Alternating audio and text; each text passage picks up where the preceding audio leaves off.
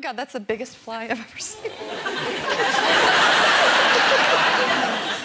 Got it. That is an enormous That was fly. like a bird. You know how you kill a fly? I know. ex- I know. If it landed here, what you do is you go, "Oh, get it over here," because you put it there and you go, because the fly oh. feels the pressure of the air coming from either side. So you trick it, and you go, oh. and you get it every time. Clever murder. Fly killer. That's the best. So in character. Sorry.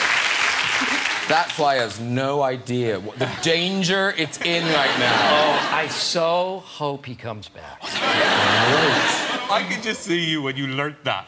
Oh, just so happy. I actually did it on, on during a take of The Office. There was a fly on the desk, and during a, a line of dialogue, I went, Ah. and people were, the cameras went down like, oh my god.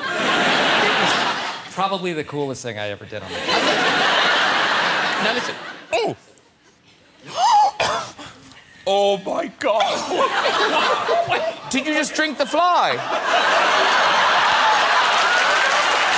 Is it? You haven't? Is it alive in your mouth?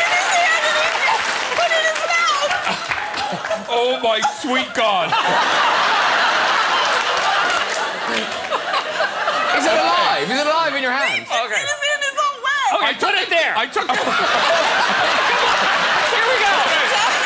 I'm taking this thing down. I gotta tell you, It's drunk now. It's drunk. I've chewed it.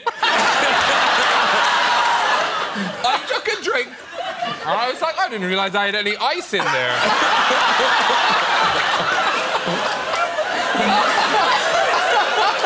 Oh, let's see. Let's see. Oh. Okay, are you ready, Steve? Are you ready? Oh! That-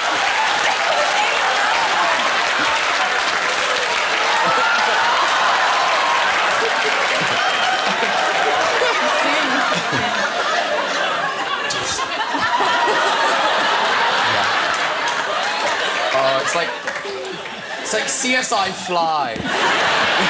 you just draw a little chalk outline okay? around it. The Graham Norton Show. All new Thursday at 10. Only on BBC America.